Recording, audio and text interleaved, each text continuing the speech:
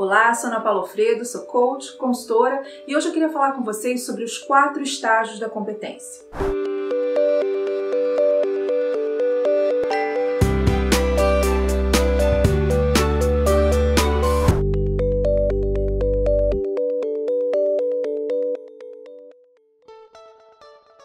Sabe aquela sensação desagradável quando a gente vai aprender algo novo? Aquela sensação que dá que a gente fica na dúvida se vale a pena insistir ou se é melhor a gente voltar atrás, deixar isso para lá? Então, isso é bastante comum. Na verdade, toda vez que a gente vai aprender algo novo, isso significa sair da zona de conforto. A gente já falou disso há um tempo atrás, falando de zona de conforto e por que é importante sair dela. Mas trazendo para cá, o Noel Birch, em 1970, ele desenvolveu um modelo que fala exatamente desses quatro estágios da competência. Basicamente significa qual é o processo que a gente leva para a gente poder passar e adquirir um conhecimento novo. E aí ele representou isso como se fosse uma escada. Primeiro degrau ele chamou de inconsciência e incompetência. Na verdade, essas duas palavras vão permanecer durante todos os degraus da escada, porque ele está cruzando o quanto a gente tem consciência do que a gente sabe versus o quanto a gente é competente naquilo que a gente sabe. Então vamos voltar lá para o primeiro degrau e a inconsciência incompetente. É aquele momento que você não faz a menor ideia.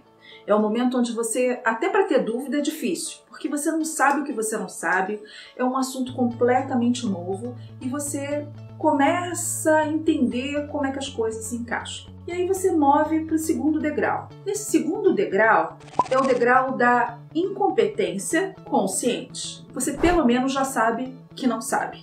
Então você começa a ter dúvidas, você começa a entender aquilo que você tem que aprender, a traçar um objetivo, a fazer alguns experimentos e continuar a caminhar nesse processo. E aí você vai para o ter terceiro degrau. O terceiro degrau é o degrau da competência consciente. Vocês devem estar achando, ah, ela trocou as bolas, né? Porque teria que ser inconsciente primeiro. Não, é a competência consciente mesmo. E por que, que é competência consciente? É quando a gente já aprendeu a técnica, mas a gente ainda tem que estar consciente dela para a gente fazer as coisas. Então, primeiro eu faço isso, depois eu faço isso, depois eu faço isso, e eu tenho consciência desse processo, ele não é natural para mim.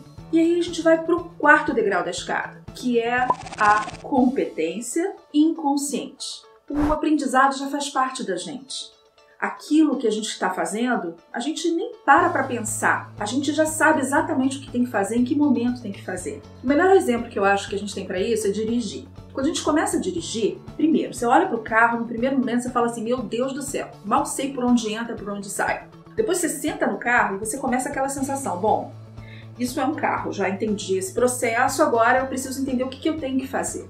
Quando você aprende a dirigir, e você já avançou na autoescola, já andou, na minha época que eu aprendi tinha marcha, tá, gente? Então vou dar exemplo com marcha, porque foi assim que eu aprendi, não tem como mudar. Você vai lá, passa a primeira marcha, passa a segunda marcha, passa a terceira marcha, você ouve o barulho do motor.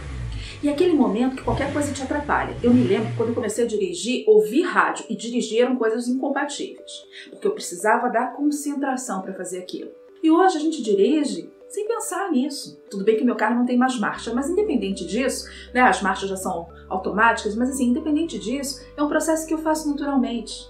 Eu não fico pensando ligar a seta, mudar isso, mudar aquilo, parar o carro. Isso é uma coisa natural que você já incorporou no teu processo.